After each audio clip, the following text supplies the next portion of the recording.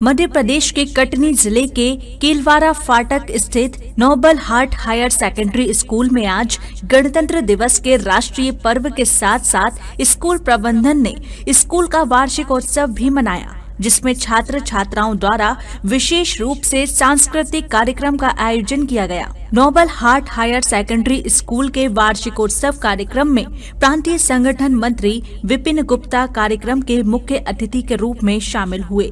वहीं वार्षिक परीक्षा में बेहतर परिणाम लाने वाले छात्रों को मुख्य अतिथि प्रांतीय संगठन मंत्री विपिन गुप्ता के हाथों पुरस्कृत किया गया। इसी के साथ ही उन छात्रों को भी पुरस्कृत किया गया, जिन्होंने विशिष्ट गुरु प्रतिस्पर्धा में ज़िले के चयन सूची में स्कूल का नाम दर्ज कराया और सफल हुए। वहीं Noble Heart Higher Secondary School संचालक अनिल गर्ग ने वार्षिकोत्सव कार्यक्रम में नन्हे बच्चों और सांस्कृतिक कार्यक्रम में हिस्सा लेने वाले सभी प्रतिभागियों को पुरस्कार का वितरण कर प्रमाण पत्र भेंट किया। छात्राओं ने मंचीय कार्यक्रम प्रस्तुत कर वहाँ उपस्थित सभी लोगों का मन मोह लिया। सभी ने तालियाँ बजाकर बच्चों का मनोबल बढ़ाया। कटनी से संवाददाता जाहिद हुसैन सिद्दीकी की रिपोर्ट। बड़ा ही महत्वपूर्ण है। हमारा देश उन्नीस सौ सैंतालीस में आज़ाद हुआ।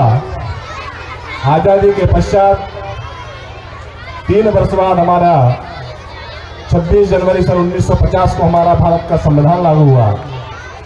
किसी भी देश व किसी भी राष्ट्र के लिए उस देश में संविधान होना अति आवश्यक होता है और भारत का संविधान हमारे मौलिक अधिकार देता है, हमको हमारे कुछ कर्तव्य करने का अधिकार देता है।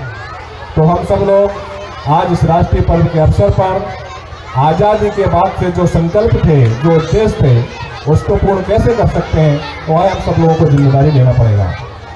हमारे देश को जो आज़ादी मिली थी, सन उन्नीस सौ सैंतालीस में तो हम देखेंगे कि अठारह की जब क्रांति पहली हुई थी तो मंगल पांडे का नाम ज़िक्र जो आता है तो ऐसे पहले क्रांतिकारी मंगल पांडे का नाम हम सब लोगों ने सुना होगा। ऐसे क्रांतिकारी अनेकों लाखों देश के प्रत्येक व्यक्ति ने आज़ादी दिलाने में बड़ा ही योगदान दिया था। हम सब लोग उनको याद करते हैं और जो भारतीय संविधान जो जिन लोगों ने अहम भूमिका निभाई थी, ऐसे अंबेडकर जी अनेकों हमारे जो उसके सहयोगी थे, उन सब लोगों को भी हम नमन करते हैं और आज़ादी के पश्चात हमारे जो कर्तव्य बनते हैं कि महारानी लक्ष्मीबाई, रानी दुर्गावती, भगत सिंह सुखदेव, राजगुरु अशफाकुल्ला खां, ऐसे अनेकों क्रांतिकारियों ने हमारे देश व समाज के लिए बलिदान दिया। ऐसे उन महापुरुषों के जीवन में उन्होंने क्या संघर्ष किया, उन्होंने देश व समाज के लिए क्या किया? अपने बच्चों को, हमारे परिवार के लोगों को उनको सिखाएँ और अच्छे आदर्श व्यक्तित्व कैसे बन सकते हैं? अभी हम सब लोगों ने देखा होगा कि भगवान श्री रामचंद्र जी के प्राण प्रतिष्ठा के अवसर पर कैसे हम सब लोगों ने देश भर में पूरे उत्साह मनाया। भगवान श्री राम के आदर्श व्यक्तित्व को अपने परिवार के बालक को हम कैसे अच्छा आदर्श व्यक्तित्व बना सकते हैं? गुरु श्री रामचंद्र जी ने मर्यादा में रहकर किस प्रकार से समाज व देश के लिए काम किया था? उन्होंने स्वयं के लिए न जीते हुए संत समाज व पूरी धरती के कल्याण के लिए जिया। ऐसे महान व्यक्तित्व को अपने बालक के जीवन में जिए और आने वाली पीढ़ी निश्चित ही स्वामी विवेकानंद भगवान राम श्री कृष्ण ऐसे अनेकों जो हमारे महापुरुष हुए, उनकी प्रेरणा लेकर आगे बढ़े। निश्चित ही हमारा देश आगे बढ़ेगा। हमारा देश निरंतर आगे बढ़ता जा रहा है विश्व गुरु बनने की ओर अग्रसर है। हमारे देश में जिस प्रकार से नेतृत्वकर्ता के कारण से देश में एक सामूहिकता विकसित हुई है, हम उस पर गर्व करते हैं। और आने वाली पीढ़ी भी उनको याद करेगी।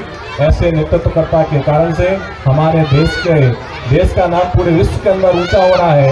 उनके कारण से जी ट्वेंटी की अध्यक्षता करने का अवसर भारत को मिलता है। अंतरिक्ष के क्षेत्र में भारत अग्रसर हो रहा है। महिलाएँ भी आगे आ सकती हैं तो सैन्य क्षेत्र में भी हमारी महिलाएँ भी आगे आ रही हैं, ऐसे अनेकों लोगों का भी योगदान इस देश में है। तो आने वाले समय में हम सब लोग एकजुट मिलकर कार्य देश के लिए करेंगे। आप सभी लोगों को राष्ट्रीय पर्व सत्तर वर्ष के गणतंत्र दिवस की हार्दिक शुभकामनाएँ। भारत माता की जय, वंदे माता हमारे विद्यालय नोबल हट पब्लिक हायर सेकेंडरी स्कूल में वार्षिकोत्सव का आयोजन किया जा रहा है। रिपब्लिक डे में आज के हमारे मुख्य अतिथि आदरणीय माननीय विपिन गुप्ता जी, प्रांत संगठन मंत्री के द्वारा मुख्य अतिथि रहे हैं। उनके द्वारा हमारे विद्यालय की प्रवीण सूची में आए हुए तीन छात्रों को उन्हें प्राइज डिस्ट्रीब्यूट किया गया एवं ज़िले में जो एक बच्चा था हमारा, प्रथम गुरु उस वशिष्ठ गुरु हमारे विद्यालय ने पूरे ज़िले की, तृतीय सूची में उसका नाम था उसे भी सम्मानित किया गया। और विद्यालय प्रबंधन रिपब्लिक डे की 26 जनवरी की आप सभी को बहुत बहुत शुभकामनाएँ देता है।